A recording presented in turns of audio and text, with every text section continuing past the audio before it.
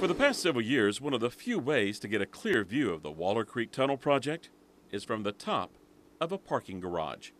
Now, this letter from attorneys with the City of Austin is providing a different perspective. It's a huge concern.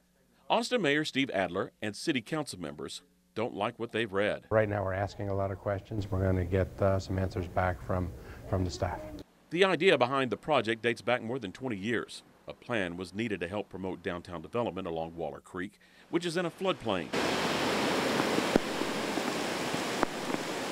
Voters approved about $20 million to divert stormwater down into a mile long tunnel under Waller Creek.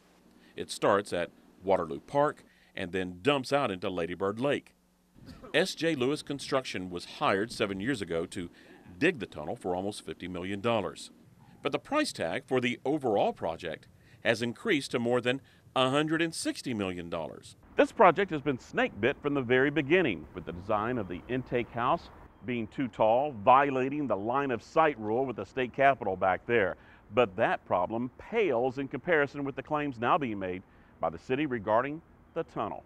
The default letter by the city demands a repayment of almost $22 million. The city claims that SJL constructed a tunnel with significant missing rebar, numerous surface imperfections, and a patchwork of repairs.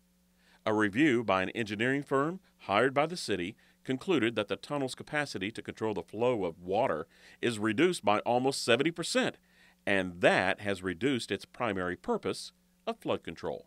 It was also determined the tunnel has lost the structural integrity and the intended service life that the design tunnel would have provided.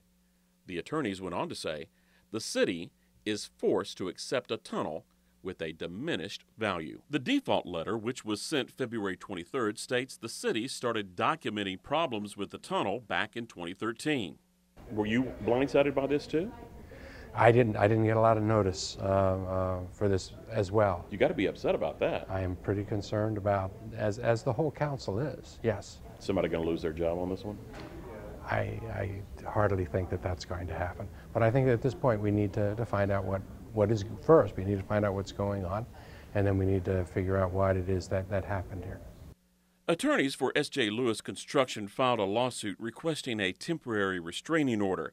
It's claimed the city has already accepted the tunnel project as completed and should not be able to classify the contract as terminated. Doing that, the company argues, could prevent them from getting hired for other government contracts. A hearing date on the request has not been set. In Austin, Rudy Koski, Fox 7 Austin News.